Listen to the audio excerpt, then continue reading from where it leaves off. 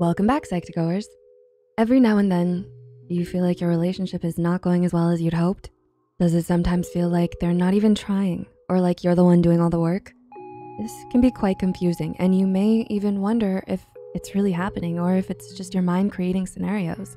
So to help you be more aware of your relationships, here are six signs your relationship is one-sided. Number one, you're the one who does all the planning.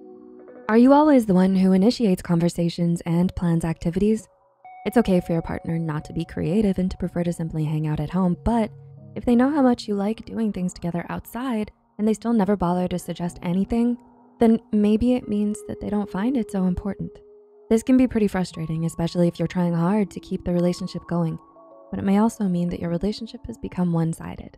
Number two, they find time for others, but not for you.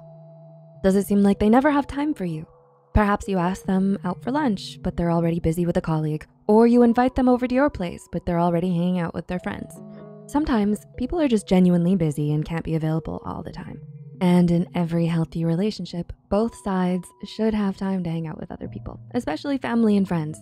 However, it doesn't mean that they should ignore their other half. If your partner has enough time to hang out with everyone else but you, then it's a clear sign that something's not quite right. According to statistics, only a small percentage of you who watch our videos are actually subscribed. So if you haven't, and at the end of the video you enjoy what you see, do consider subscribing. It would help a lot with YouTube's algorithm in promoting more of our mental health content. Thanks for being here. Number three, you're missing the emotional support. Are they there for you when you need them the most? Your significant other should ideally be your best friend, a shoulder to cry on, a helping hand. They're the ones you run to when life gets you down to reassure you that everything will be okay. So if they're never there for you, especially when things are getting tough and hard to deal with, then it may be time to rethink your relationship with them. Number four, your comments are met with annoyance. When you're dating someone, naturally, sometimes you're gonna have some complaints. Whether it's simple things like, I don't like it when you're late to our dates, or something more intimate like, I wish we would snuggle more, it's a healthy thing to voice your opinions to try and better your relationship. However, if everything you say annoys them or makes them feel like you're too much, then it may be their way of running away from their responsibilities and to avoid putting in any effort into the relationship. Number five, you make excuses for their behavior.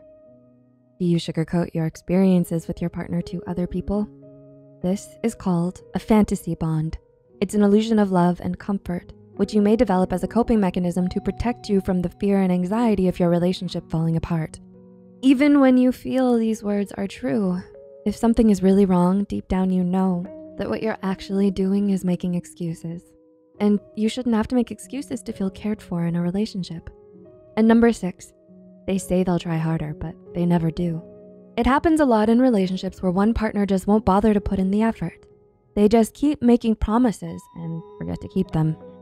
The truth is you can't change anyone or expect them to change for you. But growing as a person with someone by your side is one of the things relationships are for. If someone is bothering you and you let them know and they say they'll fix it, but they don't, it's safe to say that you should keep your expectations low. So do you feel like you're in a one-sided relationship? Let us know in the comments below. If you found this video helpful, be sure to like, subscribe, and share this video with those who might